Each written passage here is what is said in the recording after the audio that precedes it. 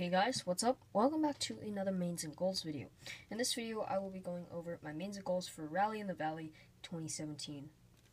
Starting with 2x2, we have my main, which is the GuoGuan XingHen, and I hope to get a sub 5.5 average with a sub 5 single. Moving right along to 3x3, we have the GAN 356 Air, and I'm hoping to get a sub 17 average, I think it's possible, and a sub 15 single. So moving on to 4x4, I am using my WuQue, and I'm hoping to get the cutoff of 1 minute 30 seconds, uh, and also get a sub 125 average, and hopefully a sub 120 single. I think those two achievements are achievable.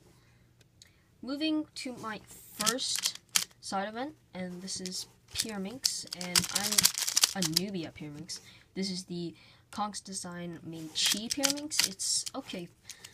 Uh, I'm hoping to get a sub 15 average and a sub 10 single. I'm not sure if I can get both of those. However, I'm hoping to get a sub 10 single, and that's basically all I want for this competition.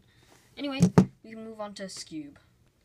The last event that I'll be competing in for Rally in the Valley 2017 is Skewb. And for Skewb, I'm hoping to get a sub 10 average with a sub 8 single. I think it had, I think it could happen. I also got a sub 8 single last competition. So, anyway, yep. So that's it for my mains and goals video for Rally in the Valley.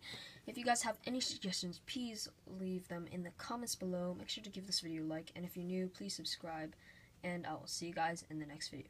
Bye.